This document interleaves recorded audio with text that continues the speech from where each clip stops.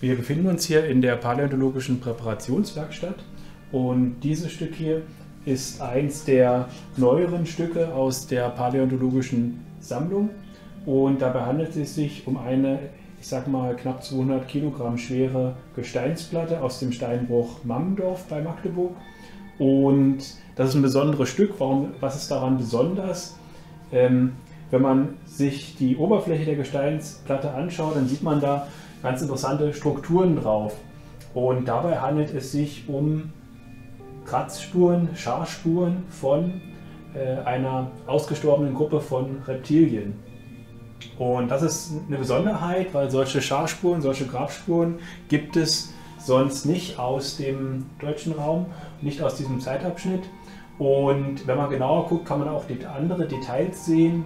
Man sieht beispielsweise äh, solche Risse hier, das sind Trockenrisse, die beim Austrocknen einer Pfütze entstanden sind. Man sieht so das Rundliche hier oder Halbrundliche hier unten.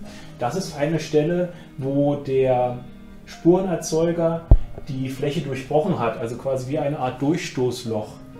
Und äh, wenn ich mir diese Scharmuster anschaue, sehe ich, dass es also immer, dass es immer also aus verschiedenen parallelen, ich sag mal, äh, Kanten oder äh, Graten besteht. Und nun fragt man sich, äh, wenn es eine Scharspur ist, müsste ja eigentlich eine Vertiefung sein. Und das hat damit zu tun, dass das nicht die eigentliche Fläche ist, wo die Tiere quasi drin geschart haben, sondern das ist quasi die, die Platte, die oben drauf gelegen hat. Und die, auf dieser Platte ist quasi diese Scharen oder dieses Kratzen erhalten geblieben. Ein besonderes Stück 2018 gefunden im Steinbruch Mammendorf.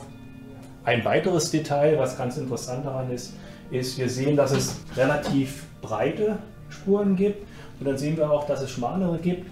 Das heißt, da haben vermutlich größere und kleinere Individuen, äh, größere und kleinere Tiere zusammengeschart man könnte äh, meinen, dass das eine vielleicht die Jungtiere gewesen sind, das andere die erwachsenen Tiere.